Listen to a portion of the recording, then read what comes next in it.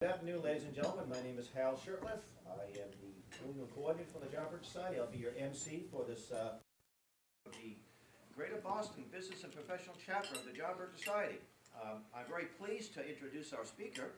Before I do that, I want to give a little background, and uh, when he finishes, he's going to introduce a colleague of, of his, Dr. Uh, Dr. Uh, Greg Hession, who is an attorney and a, a longtime JBS member. But um, Dr. Punyamurtula, I got it right, Kishore, um, he, he was coming to a couple of our meetings down in the South Shore, video showings we're having, of the movie uh, America, Imagine a World Without Her. And he said to me, I have a story to tell as well. And I said, well, I got to follow up on this guy. He's, like, he's coming all the way from Chestnut Hill to, to Weymouth. He must be in business. So he got a hold of me, said he wanted to become a member of the Society, and I said, well, we'd love to do that. He's actually had a friend of his that joined, and he told me his story. I said, well, I think you should tell your story at this luncheon. Then I called Greg, an, an unrelated uh, matter, and I said, Greg, you happen to know a guy named uh, Dr. Kishore? And he said, yeah, I'm doing a, st a, story about him in the New American Magazine. I said, what a small world. So uh, I'm going to let the doc tell the story here. I'm just going to give a quick introduction. Uh, Massachusetts physician from 1977 to current, educated at Harvard School of Public Health. We won't hold that against you, by the way. Trained in community-oriented uh, primary care, board qualified in preventive medicine, board certified in addictive medicine, and he's probably, if not one of the, the first uh, addictologist, is what you said, probably the first one in the world, um, fellow of the American Society of Addiction Medicine, honored by the Boston Celtics as Heroes Among Us, founded Massachusetts model of addictive care. So let's give a nice warm hand to uh, Dr. Kishore.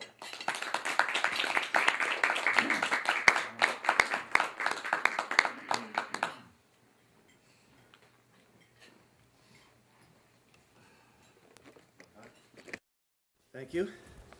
Thank you, Hal. Um, it's a real pleasure to be here. I think it's a great opportunity for me to tell my story and uh, ask you a question. Um, I start with the last slide. I brought in 15 slides, and this is the very last one. Is this American justice?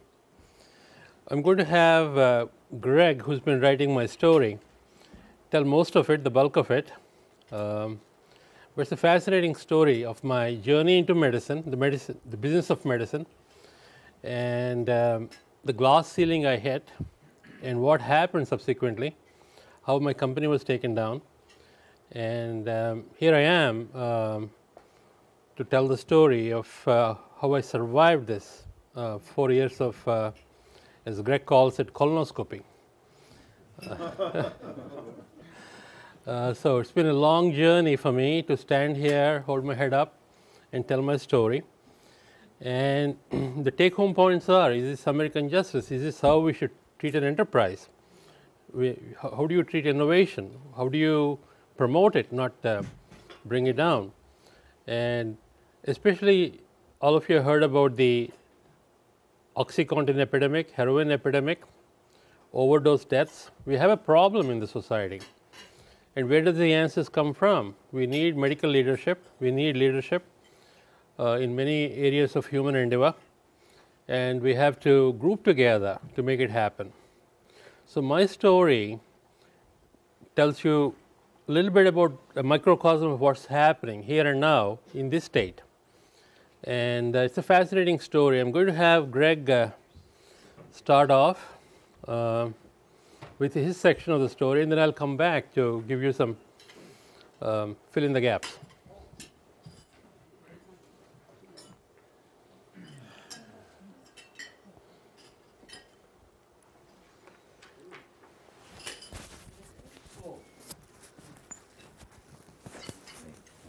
Yeah, go.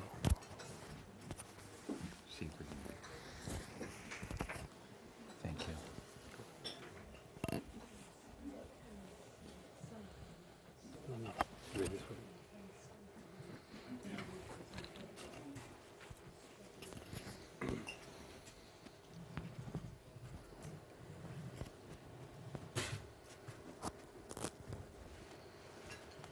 Greg, all yours.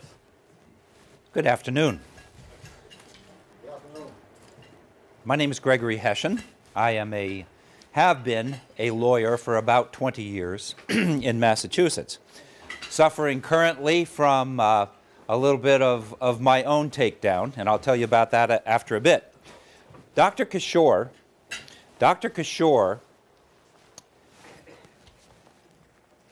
has had an experience that not just would make a movie, would probably make two movies.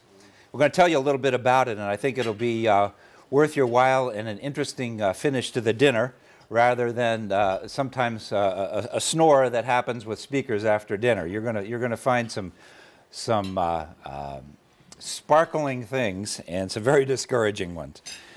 Dr. Kishore is to de addiction medicine as McDonald's is to hamburgers. And he has figured out something he called this Massachusetts model a way to systematize helping people, a lot of the people that we don't probably in this room see too many of. I'm going to introduce you to the seamy underbelly of what's going on all around us in our cities and towns here. And Dr. Kishore got involved in the drug war. He got involved as a non combatant. And as with most non combatants, the Red Cross or whatever, they just try to keep from getting shot while everybody else is having the war. He got taken down as well in the war. And I'm going to tell you how that happened. In September of 2011, Dr. Kishore, right here. Now, how many police do you think it would take to uh, take him into custody? Heavily armed. well, th- that's you're, you're way under. Um, 15 police cars, 30 state troopers, and a helicopter. And they all came to get this fierce looking man here and take him into custody. Why? I'm going to tell you a little bit about this story. This really was the, uh, there's a couple people behind the scenes that were operating what happened to Dr. Kishore. One is the um, unlamentedly erstwhile Attorney General Martha Coakley. Now, you may remember her. And, uh, and the other one is a, a, name which is far less known a guy named Michael Botticelli. Michael Botticelli was the head of the Massachusetts Bureau of Drug or Substance Abuse. Now, isn't that an interesting name for a, uh, for a Massachusetts uh, bureaucracy? That bureaucracy gets about $75 million a year of our tax money. And uh, here's the problem with government agencies, and this is one that will illustrate the, the, the, point perfectly. The whole point of these agencies is you can't succeed, or the agency won't have a purpose. So, the purpose of the Bureau of Substance Abuse is to make sure that substance abuse continues unabated. In fact, it would be even better if it would increase because even more bureaucrats could be employed and the budget will get bigger and bigger. For example, this year it's 8% more than it was last year. And if you've noticed, I don't know if you've been watching this, but the governor and the new attorney general are convening all kinds of blue ribbon commissions and other completely ineffective uh, uh, uh, sorts of um, blue ribbon commissions and everything to study the drug abuse problem in the Commonwealth. Something happened after Dr. Kishore was taken out of this um, field, and that is drug usage and abuse shot up like that.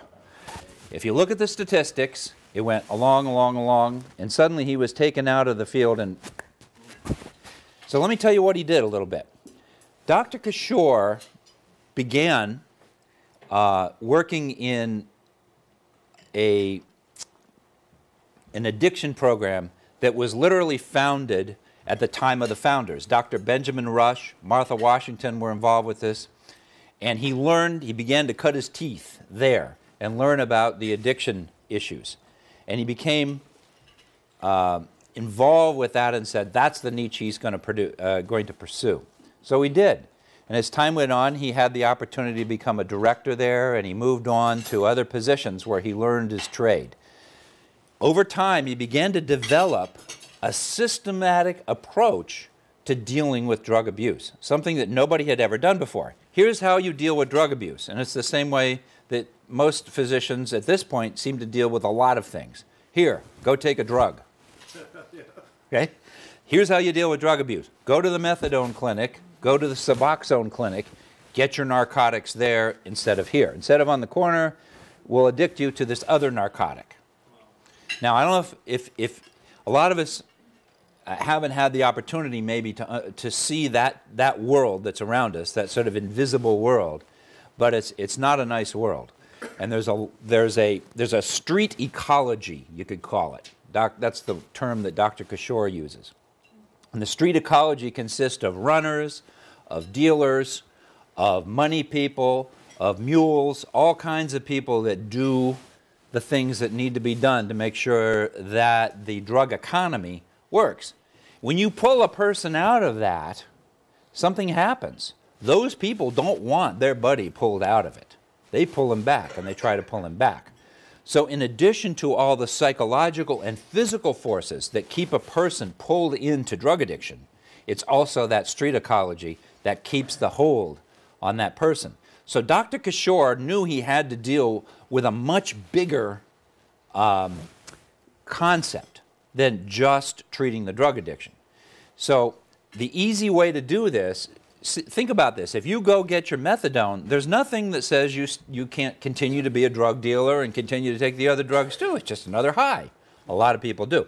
And I happen to be uh, talking to um, a, a, business owner right next to the gigantic methadone clinic in Springfield, uh, near, near where I live. And the guy says there's needles all everywhere. He goes every time he every day he goes out there and there's just it's just full of all kinds of needles and drug paraphernalia and everything right next door to the clinic. So obviously the people are not using the methadone only. They're continuing their other addictions. So Dr. Kishore came up with with some very important concepts. First of all, when when an addict is trying to get rid of an addiction, there's some immediate physical symptoms for the first period of time. And that, those symptoms have to be dealt with. Uh, so he gives non narcotic uh, medications to help them with the aches, the nausea, the sleeplessness, and all kinds of other things that occur over this first month. Now, once that happens, you also need to do other things like keeping them out of that street ecology. You need to be able to help them with uh, other medical problems. So he views his practice as a primary care practice that focuses on addiction. But think about all the other problems that a person who's drug addicted often would have as medical issues sexually transmitted diseases, hepatitis, all, all kinds of other problems, nutritional uh, problems, uh, and the results of bad nutrition. So, all of these things can be treated in a holistic way as a person. Now, Here's what Dr. Kishore was able to do. Anybody know what the long-term sobriety rate for Alcoholics Anonymous is? Generally 2 to 5% of one year sobriety rate. The, when Dr. Kishore started, he, he started at about 37%. When they took him down with the snipers and all those guys, he was up to almost 60% long term sobriety rate. So clearly, he was putting the hurt on the people that profited from the drug dealing business, namely the government.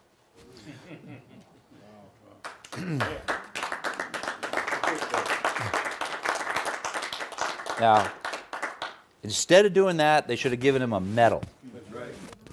But I'm going to tell you what happened you're only through the, the first movie. Now wait, the, the, the sequel's better. um, so so our so Mr. Botticelli, the uh, the drug czar from Massachusetts, who was just maybe two weeks ago um, coronated as the United States drug czar. So the Peter Principle is always at work. Everybody always gets appointed to their level of incompetence and in his case, above it. So now he can do to the country what he did to Massachusetts and impose that defective, ineffective methodology of dealing with drugs. Now, it's a, it's a tragedy and a shame that people get so pulled into all this. But what happens, particularly these opium based types of compounds, the reason they work is they slow your body down. They stop everything from going right, like digestion and everything else. So it causes, it racks terrible um, offense on, on one's body. And you, you know, a long term opium type addiction, that is, you know, with um, Vicodin, Oxycontin, heroin, all of these are all these, these uh, opium-based narcotics. Some are synthetic and some, are, some come from a, a, a poppy plants. You, you rack up your body. So there's a lot that needed to be done. So Dr. Kishore, not only did he put together this program, but he decided, well, we need to go to the places where these addicts are. If we're going to have a primary care practice, so he began to put um, freestanding practices all over the Commonwealth, and he had maybe 25 or so, and he began to put them in what they call sober houses. Now, a lot of us here might not know what a sober house is. I didn't. A sober house is sort of a halfway house where addicts are trying to get the counseling and treatment they need to get back into society and kick the habit and stay on the straight and narrow. You're not allowed to stay in one if they drug test you and you've and, and your um, your drug tests show that you've been using. So there's a lot of profit in these sober houses. Um, sober houses are generally funded in large measure by both government and by rentals of the people that stay there. One of the keys to a sober house is the drug testing, which uh, medically is recommended about three times a week. Dr. Kishore, as part of his treatment plan for people, recommended testing three times a week as a stick to make sure that they stayed also on the straight and narrow. But a sober house, unless they have a primary care practice located there, can't prescribe drug testing. Well, what was happening in the Commonwealth prior to Martha Coakley doing this is the drug testing people were just simply getting these testings done and they were illegally charging them to Medicaid or getting falsified doctor signatures on these things. Medicaid will only reimburse a, a drug test if it's done by a doctor's prescription. So Dr. Kishore got the idea, and it's a sensible one both in terms of a business and, of course, in terms of helping the people. Locate the primary practice in these sober houses. That way, we can do patient intakes, we can find out what the problems are, we can provide the necessary testing and the necessary medical care for these people. And it worked out well, and he had 20 some of those also. So when he, when he was finally taken out, there were over 50 practices around the Commonwealth that were providing medical services for these unfortunate people. His total lifetime, he calculated maybe 250,000 people his practices have treated. Can you imagine that? That's a lot in a small state. And it's only been in Massachusetts. So, you know, a state of 6 million people, that's a large percentage of the population that have seen Dr. Kishore. So here's what happened. When he began to put these things in the sober houses, it started to impinge on the business of some of these other labs. There were many commercial testing labs that didn't operate as primary testing practices. They were just laboratory drug testing businesses, and big ones, some of them nationwide and some of them centered in the Commonwealth. The money that these guys made was pretty phenomenal. And the uh, Boston Globe published a chart that showed that two of the biggest ones were going like this, down, down, down, as Dr. Kishore's was going up. Martha Coakley, at the same time, needed a, a good campaign issue to wave around. and a good thing to do was to, you know, pick on these the Medicaid fraud situation. So that that that came across as a came across you know we're doing something for the people here. So she began to ally with some of the uh, a little less than savory characters to take down some of these labs. So one fella who they worked with is a guy named David Perry. Uh, David Perry is a disbarred lawyer, was a disbarred lawyer. He was disbarred for 10 years, a felon, a drug dealer, and a, a, a drug user himself. This is all public information. that I read in the newspaper. And um, he had a sober house himself, a place called Safe Haven. It was in Boston, and it was uh, not sober and it wasn't safe. And there were so many cops called there so many times that the city council finally convened and took him out. They, they shut him down because there was so many uh, there was so much drug dealing going on there. It became a, a difficulty for the neighborhood. So all of the sober houses don't always uh, work, work to be sober. So after that got gone, the two fellows, a guy named David Fromm, who was a partner with Mr. Perry, they each went separate ways, but pretty allied. Fromm went and fo founded another commercial drug testing lab, and Perry founded another sober house. Now, Fromm decided he was going to take out all of his competition, and he began to sue them. Sue, sue, sue. And there's still a ton of lawsuits out there. I've done a search of the, uh, uh, uh of the uh, dockets, and I'm finding that the guy sued practically every competitor he's had. And Mr. Perry was used by the Attorney General as a takedown guy. So he went, he, he actually was sort of the, the guy that they used for a sting, we could put it that way. He took out Calloway Laboratories, he took out Willow Laboratories, and then it was time to go to Dr. Kishore. Now, it was pretty easy to get those guys because they were bribing people at sober houses to get their business. Calloway paid a $20 million fine for doing that to the Attorney General. So that was a nice little thing she could wave around and say, wow, this is, you know, we're, we're doing justice for the people. But Dr. Kishore, they figured they were going to get him now.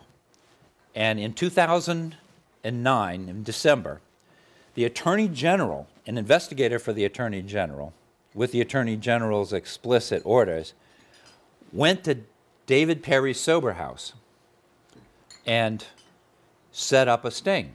One way mirror, recordings, three dummy employees kind of ming- um, lingering around, and the investigator was there too. So they were going to they were going to see if he would offer a bribe. So Dr. Kishore and several of his top people went over there to talk with him about setting up a sober house in Mr. Perry's, uh, setting up a primary care practice in Mr. Perry's sober house. The problem is, is he wouldn't bribe them. It just foiled their whole plan. It was terrible. So they left without what they wanted that, of course, would have resulted in a much earlier, uh, a, a, much earlier uh, raid on his house. So, but that didn't work. So what did they do next? Well, they sent in the Department of Robbery, I mean Revenue. They sent in the Drug Enforcement Administration. That didn't work because he didn't use narcotics. He didn't, he didn't prescribe narcotics to cure narcotics. So they didn't have any narcotics to, uh, to get him on.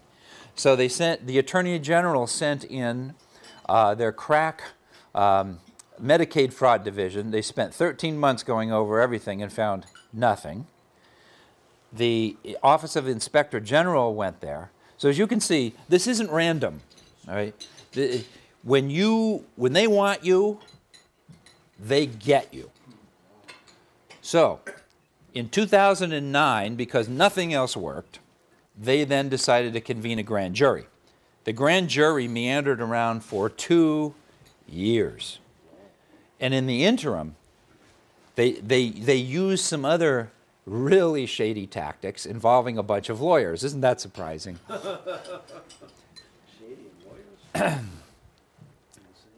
the, first, the first lawyer that was involved with this is a guy named Sorrell. Now, you may don't, maybe don't know that name. He appeared in the news in hundreds of articles, and you may not have noticed his name. But a lot of us have heard of the New England Compounding Center. Oh, yeah. Oh, yeah. He's the lawyer. He's the lawyer that got him to back off in about the mid 2000s before they'd killed all these people. He, he said, No, we're safe. Everything's fine. Don't worry. Nothing to see here. And then that's when all of the, that's when everything happened. So Sorrell, um, some have called him a fixer. Right? He's, he's the kind of a guy that you, you hire to do it, like a sort of a James Carville kind of a guy, you know, a, a fixer. All right, so Sorrell deals with this, like these medical types of uh, practices, and that's his specialty.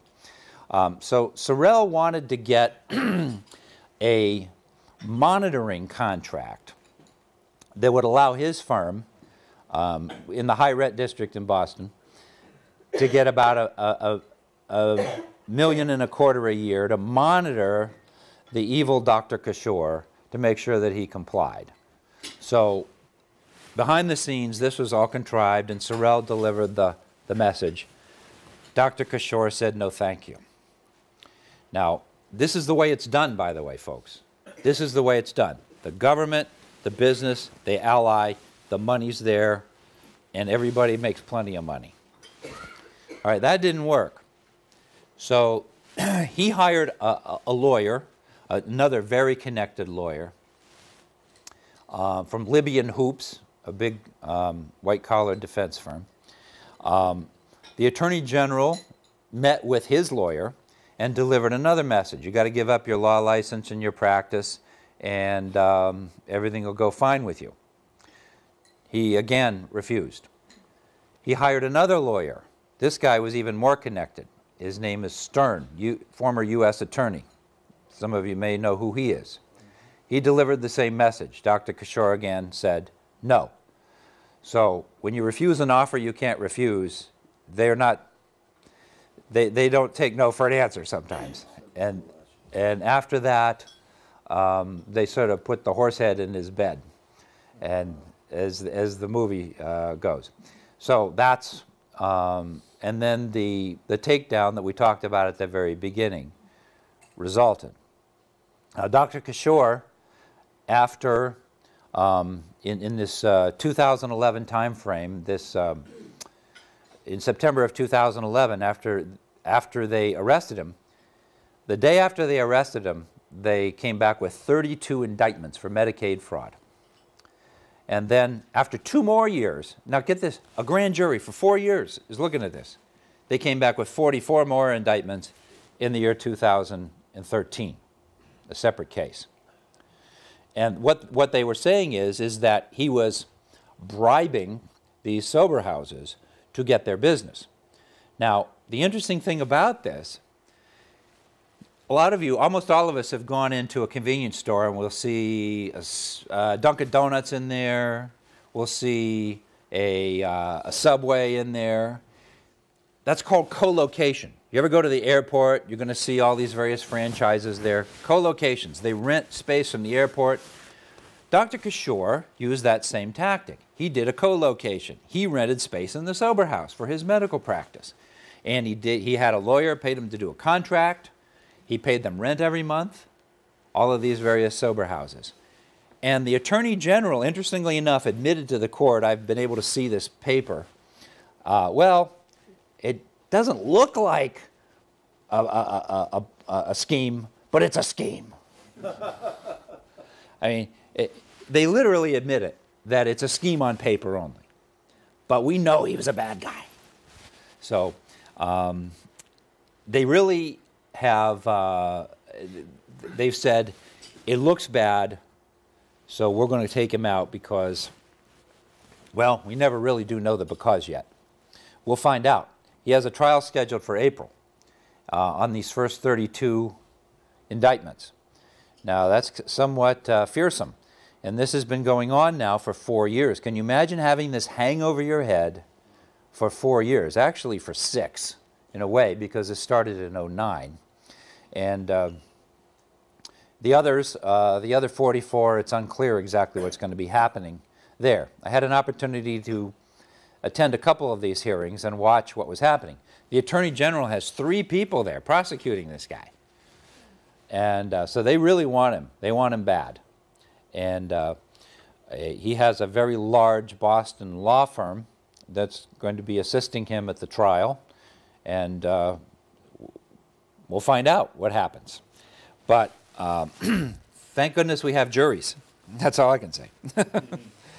um, now, there's a few lessons that I think have come home to me as I put this material together to do an article for the New American Magazine, which I hope you subscribe to. If you don't, it's great.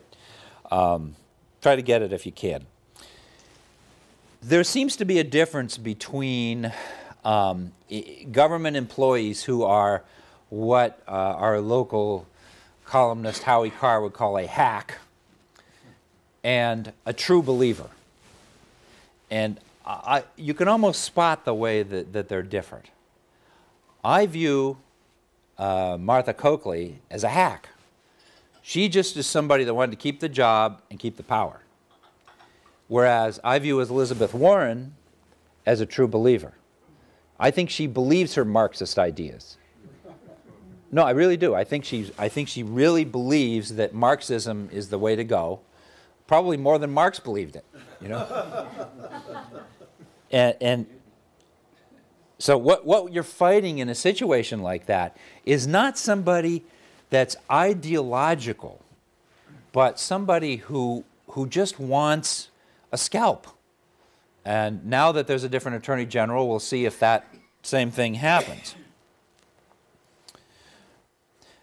Um, I'd also, while I'm thinking of it, would like to recommend to you uh, a, an, an author took a great deal of time to write a whole series, up to I think seven or eight articles at this point, for uh, Chalcedon Foundation on Dr. Kishore uh, method that he used to uh, treat addiction and on some of these things in, much, much more detail because it probably comprises over 100 pages at this point if you really have some interest in the whole thing. Chalcedon um, is named after one of the early um, conferences of all of the bishops in the world that occurred in the first several hundred years of the, uh, of the Christian church. And Chalcedon is spelled C H A L E D O N. And it's chalcedon.org, if I'm not mistaken. And the, the, the author is named Martin Selbrede, S E L B R E D E, Martin Selbrede, if anybody would like to check it out more. So, um, some of the interesting things that, that really lead you to, to scratch your head on this. For example, the largest sober house that he's accused of bribing did not get indicted at all. Three of the tiny little ones he's accused of bribing did. Why? Well, you got to look and see who runs the large one. And once you look and see who runs the large one, then you know. And that's the way it works. So, um, a number of these sort of anomalies are there, and uh, the, the, the, real, the real takeaway of all this is what is happening to our politics? What is happening to even a, a man who went into business to help people? He had a business and he helped people with his business. I bet a lot of you do the same.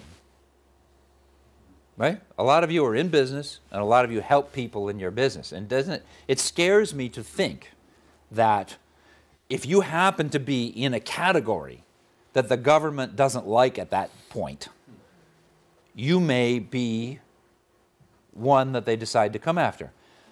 I can assure you that Dr. Kishore did not think he was in the crosshairs when this, when this started. He didn't think that at all. He was providing a service. He was, he was um, at the top of his game. He was doing uh, medical work for people that desperately needed it. And Martha Coakley was absolutely not on the radar. I wonder if there's any of the other of us in this room that are on the radar. That's what scares me. Um, I've had the same problem. Um, I was on the radar and didn't know it. I decided to sue the Chief Justice of the Commonwealth. That was not a good career move.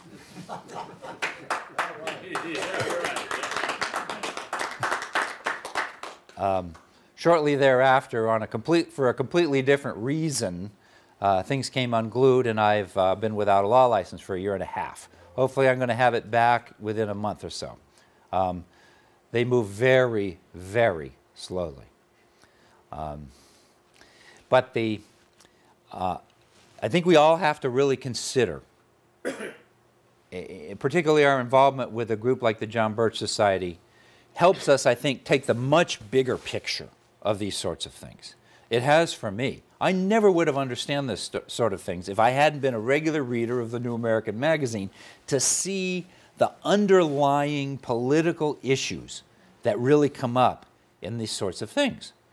So we should always be thinking, all right, is what I'm doing one of those things? Homeschool. Homeschool is one of those things that, that pulls, pulls attention from authorities.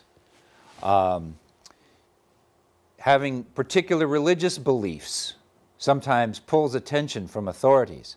Having certain political opinions pulls attention from authorities.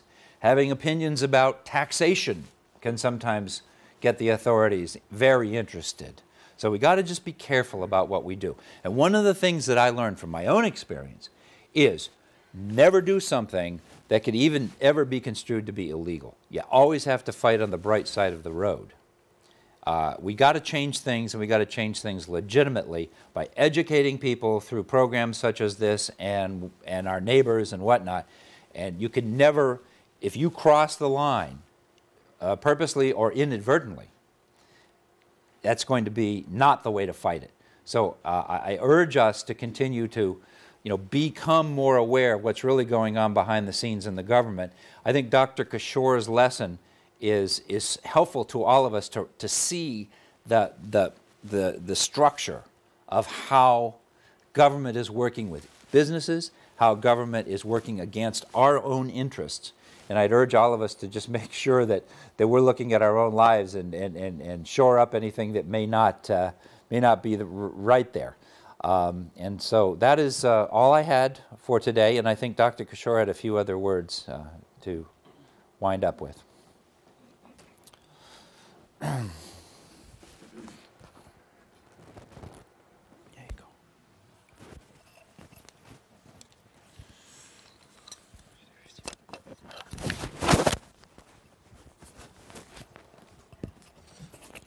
Thank you. I call Greg my American voice. and he's done a, we spent um, three months together cloistered on his farm while he was taking care of the, the pigs and whatever. In between, we would talk and look at the documents. And he made a great summary of my story. It's a complex story, it's not something that's easy to understand. He made it understandable, readable, and intrigued the public. Um,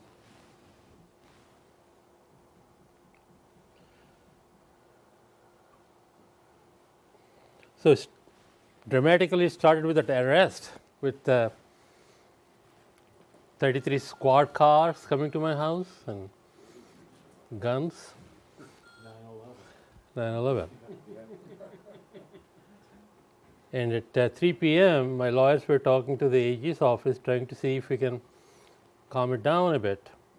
And six hours later, they were at my house, pre planned. Co location, co employment. We located practices like uh, Greg was talking about, like Subway does, Dunkin' Donuts does, to make it happen, make the consumers easy to access care. And that's the charge. The boards of medicine pharmacy are used in a heavy way. I sent four people, four young ladies who were drunk in a sober house to get care at a hospital. This is 2006, August 4th it happened. So right after this, they dusted it off. You violated the civil liberties of these four women who were drunk. You should not send them, you should let them sleep. Doesn't make any common sense, but that's the charge trying to take my license. One medical record they sequestered within their own confines, they wanted to use that. The precision company, they use that GPS for 1500 days. I had a GPS. It's, it's, radiation on my leg. Recently, I had kidney surgery, which they were trying to see if it's cancer we can see GPS to the, um, it's the same radiation as a cell phone. We know cell phones cause brain cancer. It's the same thing that happens when you have GPS on your leg for so long. my emails were stolen. All my correspondence with the legal team, they're read. Driver's license vehicles are important. They were attacked. I had a, my admirers set up a great Wikipedia page that was taken down before they took me out. Mass Health is 18%, 20% of my money. They held the monies four months in advance, not telling me why they did that. Fake news, fake gag orders, cyberbullying, a lot of characters here. Too, too long for the, for the luncheon here. It's, it's, a, it's a book in itself. This is my company. I had 370 employees, 52 offices. We're serving 214 insurance companies. We were growing at the rate of 100, 112% a year. Uh, it was a nationally recognized model. It's called the Massachusetts model. There are four models of addiction care in the, in, in the world. One is called the Minnesota model, which is 28 days in a rehab. Betty Ford Center, Hazelden, they exemplify that. Then you have the Florida model where you live in a hotel or a motel, then you go and get care at the doctor's office next door. That's called the Florida model. Minnesota, Minnesota model is $1,000 a day, so it's about $30,000 for a month's care. People can't afford it except for the very rich. Nobody can give money to get care. Florida model is cheaper, $10,000 a month, but you live in a hotel or a motel, and then you go for care. Then you have the Pennsylvania model, which is what uh, our state believes in, re- replacing one drug with the other. That's called the Pennsylvania model. And then you have my model, the Massachusetts model, where we treat lifelong as a primary care patient, make sure that they don't relapse or slip or slide. So it was recognized as a national and international model. We're seeing close to 700 new patients a month. This is a, the money growth. I didn't believe in debt. I started by hard work in 1991. November 1st, I started my practice. It was slow going at first. I got to find out all the ins and outs of uh, practice. But by 2001 2, I began to hit traction. Insurance companies realized much cheaper to treat addiction outpatient than inpatient. Number two, consumers are happy. They don't have to go to a, a psychiatric center, they can come to a primary care and not be called a mentally ill person. Addiction is considered a mental illness in medicine. I didn't treat it like that. I treated it as a cough, cold, or uh, so people liked it. So we were in upward trajectory with the money. We were uh, doing very well.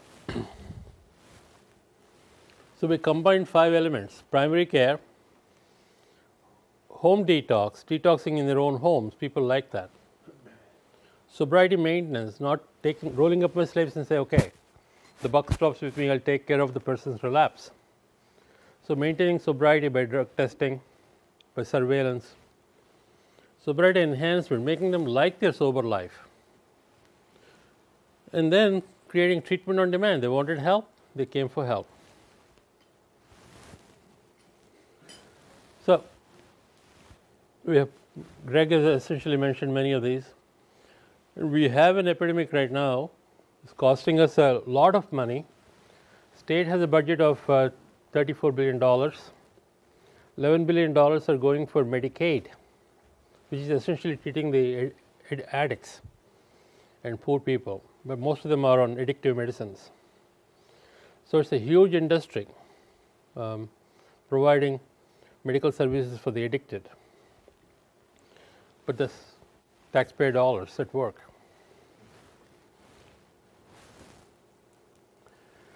It can easily be resurrected. There is the great need to resurrect the model back because there is no other working model. Drug replacement is not working. Uh, putting them away in jails is not working. Putting them into faraway little islands is not working. So we got to treat them where they are, as Greg calls it, they're ecologically friendly. We got to treat them in their own communities. And it's a story and a half here.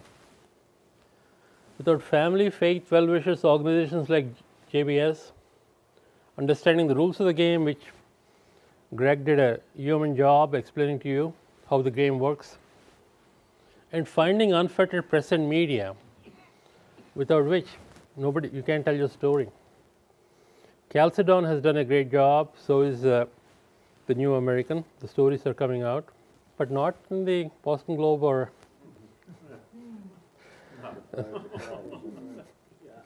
local press. It's a story and a half, but it's been totally ignored after the takedown. Without this, I would not have survived. I would not be standing here to tell the story. And I thank JBS for giving me the opportunity to say what I have to say. Thank you.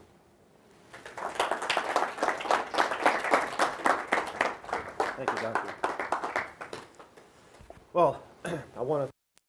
And by the way, we're taping this, it's gonna be on cable on YouTube, and once it's available on YouTube, uh, I'll email you copies of this, which you hopefully will get out to your people in your circles on other social media networks. I know the, maybe the Boston Broadside would like to do a little story about this, and maybe you know some other, uh, a lot of bloggers out there, a lot you know, lots of alternative media can really get this story out there and be a big help. So uh, with that, I want to thank you all for uh, attending. If you're not on, if you don't have, uh, well, if you'd like to be uh, uh, informed of our monthly meetings uh, and we don't have your email, please leave, give that to me. our next month, uh, next month's meeting will be the last Friday of March. I bet you some of the snow would be melted by then. Wouldn't that be nice? Maybe people see that thing called the ground, right? Uh, and our guest speaker there will be this guy, Greg Hession. He'll be talking about the parental rights amendment issue and how dangerous that is. Uh, Well, there's no such thing. what's that? Parental rights. Parental Come on. rights. Yeah. so, anyway, uh, Takes a village. so I want to thank you all for coming and God bless you. Okay, so. Excuse me. The guy from the North Shore.